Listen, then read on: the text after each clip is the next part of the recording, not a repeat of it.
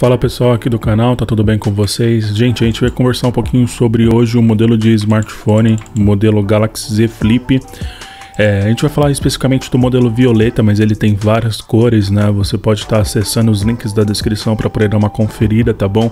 Os preços mais acessíveis do Brasil, a gente sempre coloca os links aí na descrição para vocês poderem acessar e dar uma conferida.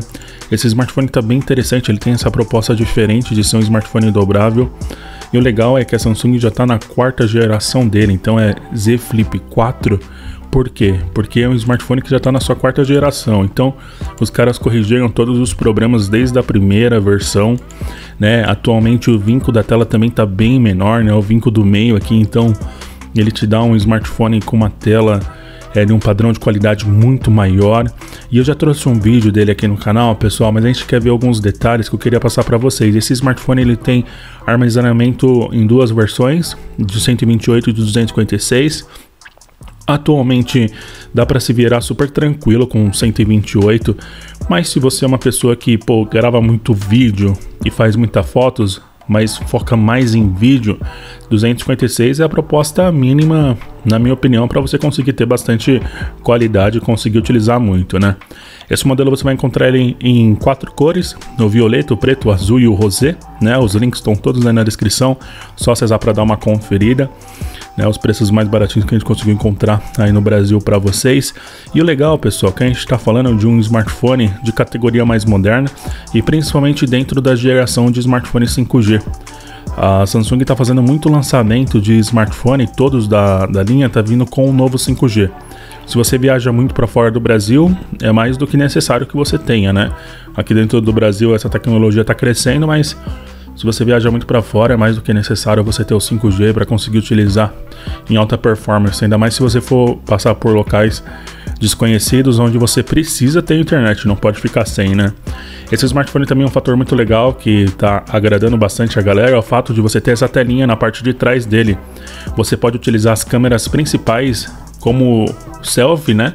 E utilizar essa telinha para se monitorar. Então você consegue utilizar as melhores câmeras do smartphone para você poder estar tá se vendo atrás do, do smartphone aqui. Então, se você é, faz gravação, né? Você sozinho mesmo produz conteúdo, não tem ajuda de ninguém para poder fazer seus vídeos aí, cara, você tem uma telinha para utilizar a melhor câmera do seu smartphone. Então isso acaba sendo um ponto bem positivo, um ponto muito legal, principalmente para quem busca, né? Cara, ter uma gravação melhor, mais bem feita. Um outro fator que eu acho bem interessante nesse modelo é que a tela dele é grande, né? 6,7 polegadas. Isso você não encontra com facilidade por muitos smartphones que existem no mercado hoje. E a gente está falando de uma categoria nobre de smartphone, pessoal. A gente está falando de um topo de linha dentro desse perfil dobrável que a Samsung atualmente é que lidera no mundo. É a melhor marca de dispositivo dobrável que ela garante realmente toda a qualidade. Para vocês terem uma noção, em testes dá mais de 200 mil aberturas que você pode estar tá fazendo com esse smartphone, abre, fecha, abre, fecha, 200 mil vezes que ele não vai dar problema algum, né? Então é um mecanismo muito bem construído, é um mecanismo muito bem feito, pessoal. Ele também tem Gorilla Glass Victus, né, cara? Então, assim, não tem, não tem nem o que dizer, não precisa ficar preocupado em relação à durabilidade, à qualidade por ser um smartphone dobrável. Não precisa ficar assustado porque é de fato muita tecnologia e como eu falei para vocês, a Samsung atualmente é a melhor marca do mundo com o smartphone dobrável já sendo vendido para o público e essa não é a primeira versão. Quando saiu a primeira versão, eu comentei aqui com a galera, espera um pouco, vamos ver se realmente vai ser bom isso daí, se vai ter durabilidade, né? Se vai ter bastante qualidade. Mas os caras já estão na quarta versão e é sucesso atrás de sucesso a cada lançamento. Então acaba sendo um grande diferencial. A gente não encontra isso com facilidade em outras marcas e os caras investem muito, né? Colocam muita pesquisa para realmente entregar um produto de qualidade dentro da marca da Samsung que a Samsung não tá para brincadeira quando a gente fala de itens de qualidade, né? Os caras estão conseguindo entregar cada vez melhor na parte de Smart TV, uma das melhores marcas do mundo também. A Samsung é um guarda-chuva no sistema de som, AKG, JBL, Harman Kardon. Então, a Samsung realmente é muito grande nessa parte de audiovisual. É assim uma coisa que, cara, não tem nem muito o que dizer.